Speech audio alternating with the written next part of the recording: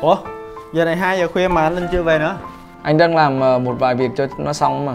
Em đi đâu về đây? À em mới đi chơi với Quỳnh về. Ồ, bên quản lý của em á họ đang tăng KPI cho em. Ờ, anh chỉ cho em cách điêu lương với em muốn tăng lương với họ em muốn tăng bao nhiêu tiền? à, à em muốn tăng khoảng 3 triệu. Hiện tại thời gian công việc của em như thế nào? hiện tại thì em vẫn đi làm rất đúng giờ luôn. Đó là uh, 8 giờ 30 em sẽ có mặt tại công ty đi ăn trưa vào lúc 12 giờ và sẽ ra về lúc 17 giờ 30 Nói thật với em á, Thì trước giờ anh chưa bao giờ điêu lương với người sếp của mình. Thực ra thì cái giờ làm việc của anh ngày xưa Nó cũng giống như giờ của em bây giờ.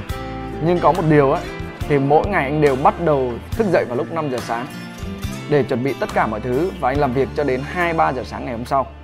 Và cái số lượng và chất lượng công việc của anh luôn đứng top đầu của công ty. Và sau đó thì người sếp của anh đã tự đề xuất về cái mức lương. Và sau đó tìm mọi cách để giữ anh lại, Chứ không bao giờ anh đi điêu lương sếp của mình. Bởi vì số tiền của em ấy, kiếm được nó sẽ không bao giờ vượt quá cái giá trị của em và sự nỗ lực của em mỗi ngày. Nên em muốn tăng lương thì em hãy tự hỏi bản thân mình, em sẽ phải làm gì để mà sếp của em tăng lương đây? Cái thứ hai, đó là những giá trị mà em mang lại cho công ty, nó có thực sự vượt trội để công ty của em tăng lương hay không?